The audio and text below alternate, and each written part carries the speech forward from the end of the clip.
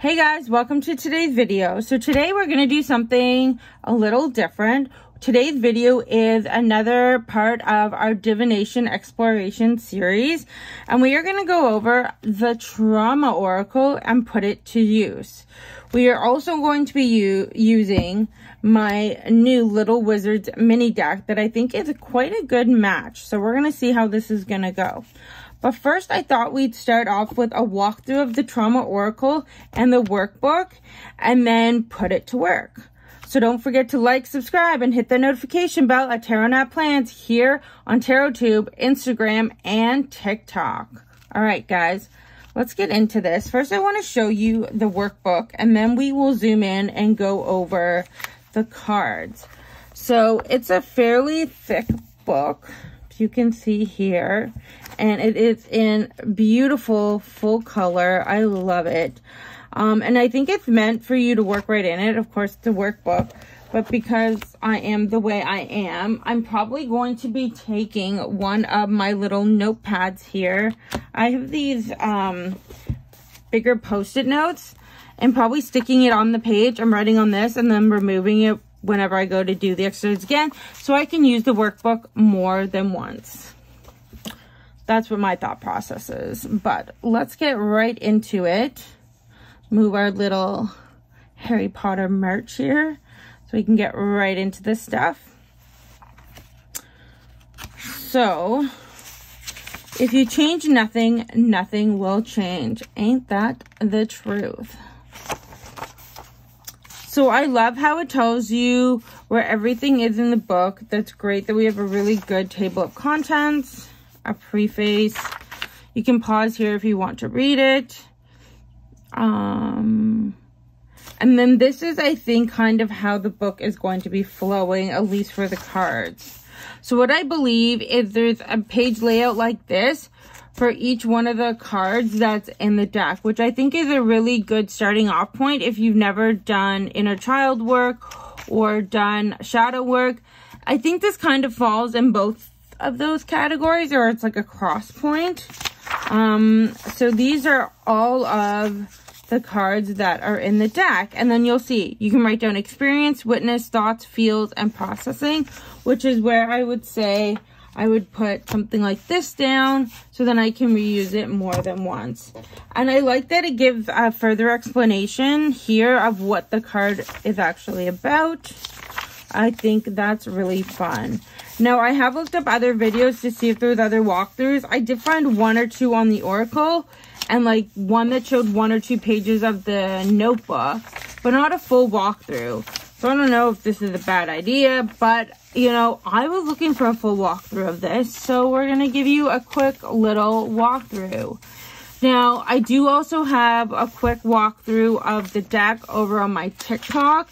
If anyone's just looking for a quick flip through, I do have one over there, as well as for my Little Wizards Tarot for the big one and the little one in case anyone is fully interested in those.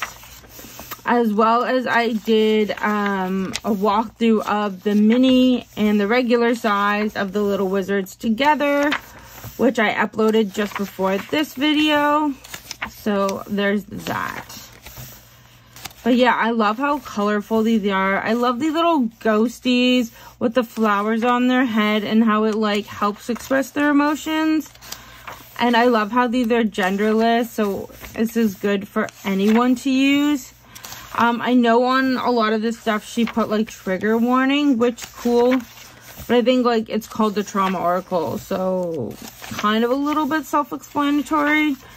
But you know what? Good for anyone that may not know what trauma is, I guess. But yeah, it's a beautiful little thing. So I guess that was the last card. Um, Vicarious Trauma. And then we're getting into some card spreads, which I think is really cool. I guess you can make your own. So this is a really cool workbook and I'm really excited to get into it and do some work.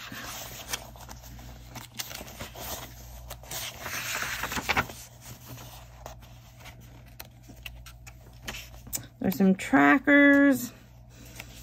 some self-conversations, checklists.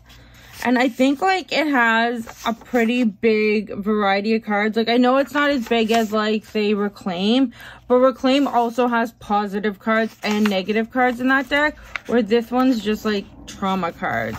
So it is a little bit different. And this is the creator, Amira Burgos. And she does have a YouTube channel as well. Um, I think everything for her is under Push Kitty. Um, here is the information card from the Little Wizards in case anyone's interested. Now, I know there's no, I believe she took off the full-size Little Wizard, but I believe she still has minis available. So that is the workbook. And then here is our Trauma Oracle. Maybe let's zoom in a little bit so we can take a better look. So it isn't just like a simple tuck box here.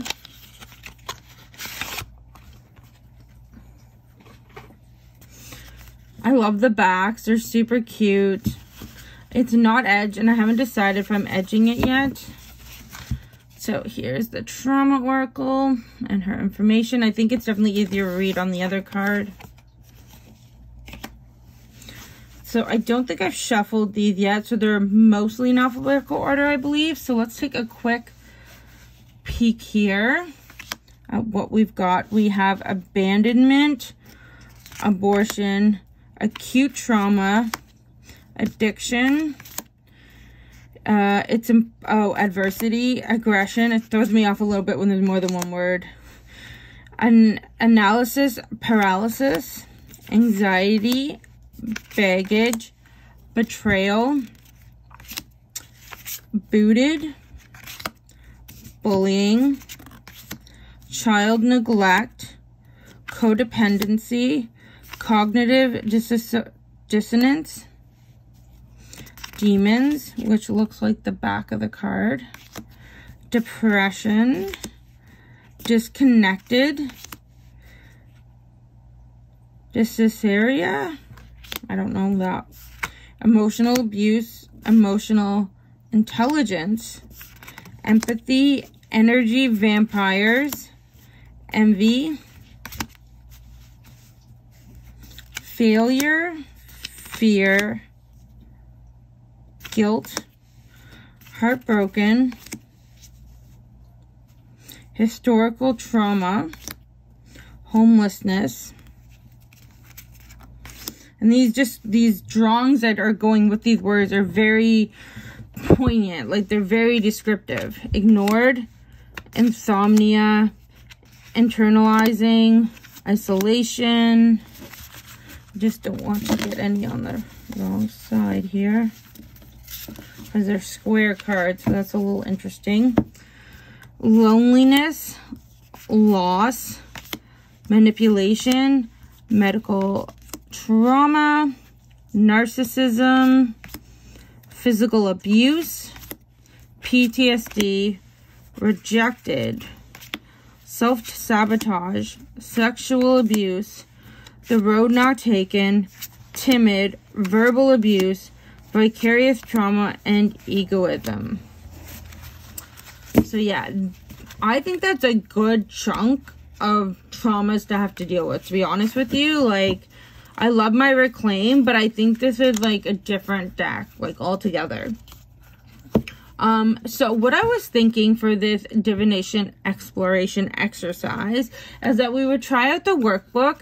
And what I was thinking is I do have both sizes of the Little Wizard, but I thought that this mini one would go really well size-wise as, oh, let's get you in frame here. Be really good size-wise comparison as well as, you know, Harry Potter for me is definitely a big part of my childhood, especially my teen years. Like, I started reading the books when I was in grade five. So, in my last two years of elementary school, I watched all the movies up until the last one came out when I was in college. So, like, a lot of these things that I may have felt would have been when these movies were going on, as well as I think, like, the artistry matches, the color matches. Like, I thought this might be a good deck pairing. to work through some of these things and might make me feel a little bit better knowing that it's Harry Potter. So let's take a little shuffle and see how she goes. So we are doing the divination exploration. So let's first off start by giving this deck a little shuffle and picking a card and then seeing where that brings us. I don't think this is the best deck to riffle. I think this is definitely a more hand over hand, but I don't want to keep knocking this camera.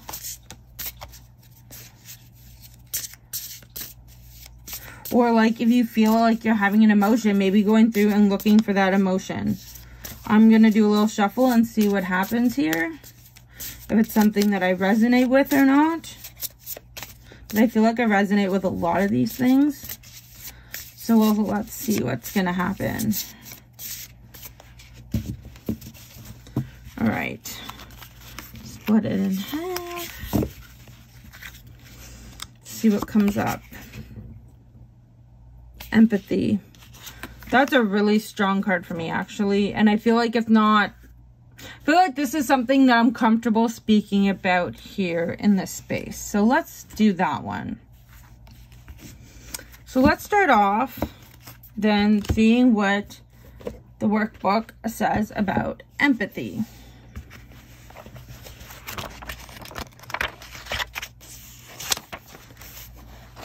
All right, let's zoom out a little bit so you can see what it says about empathy. All right, empathy. Empathy, the ability to connect. Well, let's put our card out here. The ability to connect with the thoughts, feelings, or emotions of another. Many individuals who identify as empath describe the experience as involuntary. They are able to understand and empathize without sharing the same perspective. People can also develop empathic personalities over time. Empathy can be draining. Some describe it as a gift, others not so much. Protect your space and be mindful of trauma dumping. So, if we go here, we have experience, witness, thoughts, feels, and processing. So like I said, I would just stick one of these sticky notes in here or a smaller one depending on how many thoughts I have. So we're going to do that and maybe we will use our big box to help hold down the side of the book because, you know, she wants to close.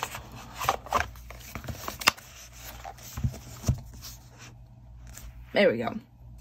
Perfect. So why don't we pull two cards to help explain empathy and how I feel empathy for others. Let me mix up this deck as best as I can because it hasn't been shuffled yet as I just went through it in my other video.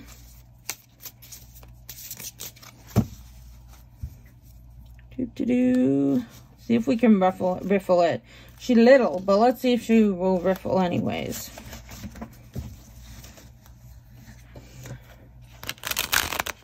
Mm, she's somewhat riffled. A little bit, a little bit. I probably can do better than that.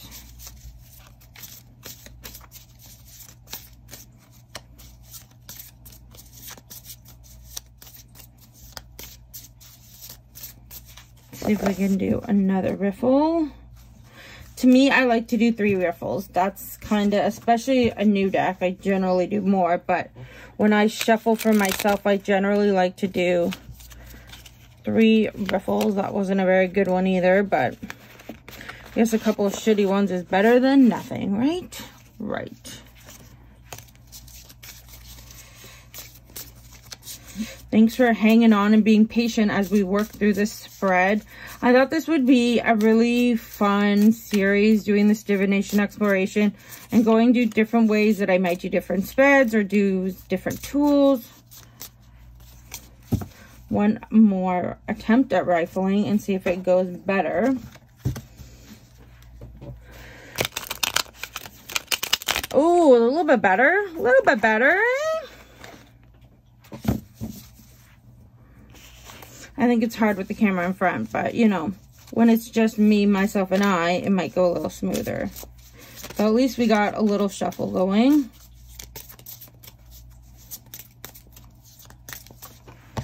All right, let's pull out two cards now.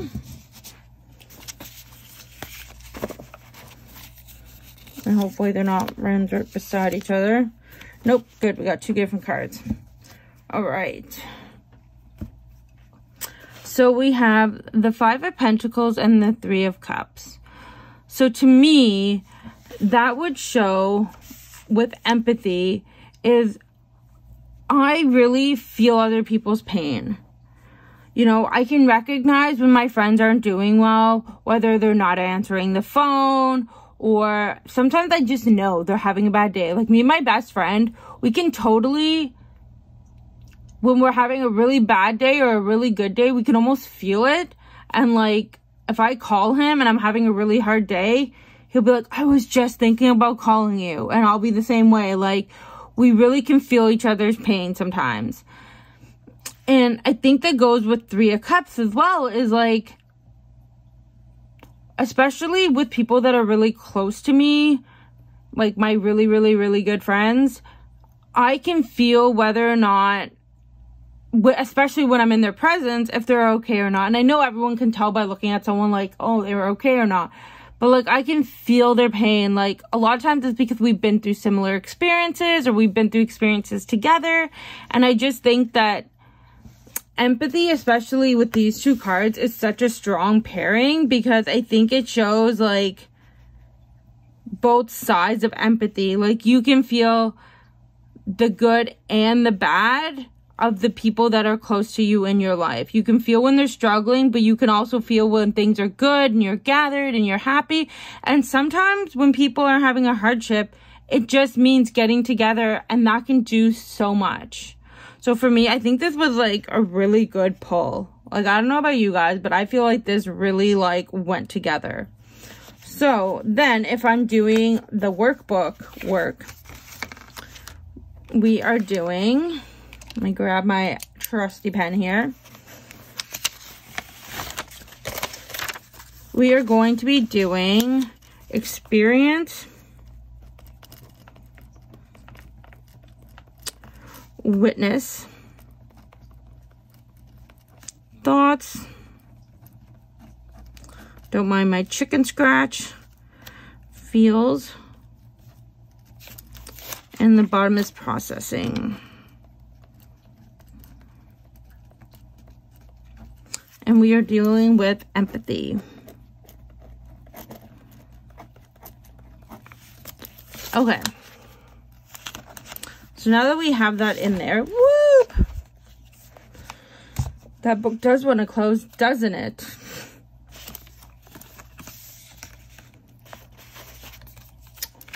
So for me, experience. Um,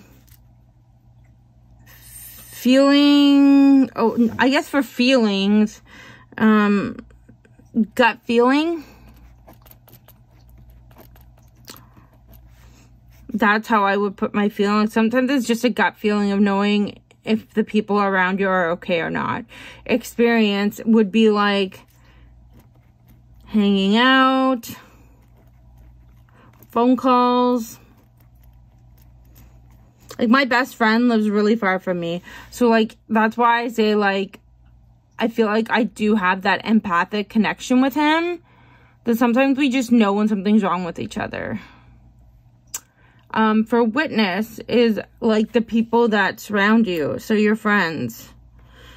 I'm working on it. Um, being more empath empathetic with other people. I struggle sometimes, but sometimes I also am so empathetic that it drives other people crazy because I do think about how I feel like I am very soft-hearted because I am so empathetic with people that I always think like my words have how do I say this?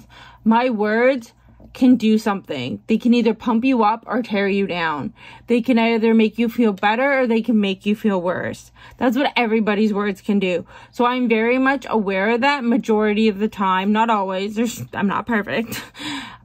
but even a lot of times when I'm not aware of it, I think about it after and I feel really bad if I've said something that I feel came off bossy or bitchy or harmful. I just feel like I'm very empathetic. So, um, and then thoughts like, think about it.